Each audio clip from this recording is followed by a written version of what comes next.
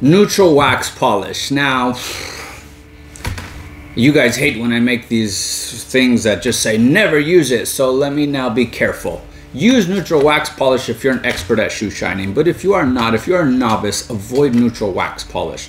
Neutral wax polish doesn't do anything for your shoes.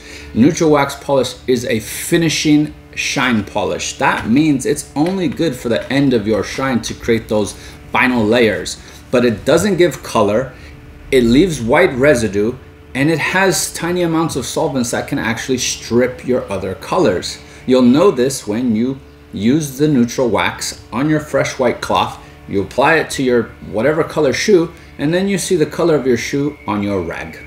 Don't use neutral wax unless you are skilled at shoe shining. All novices take heed.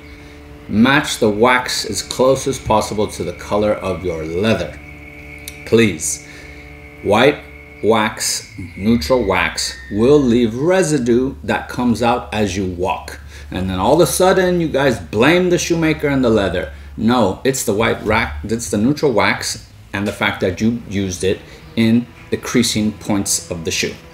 Avoid neutral wax unless you're already very skilled to know exactly what you're doing. If not, you've been warned.